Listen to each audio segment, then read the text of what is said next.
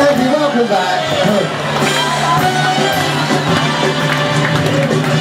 Jake, Can you teach me a couple of moves, please, dear? A few moves for me, dear. Can you give me some dance lessons, love? Now? Yes, please.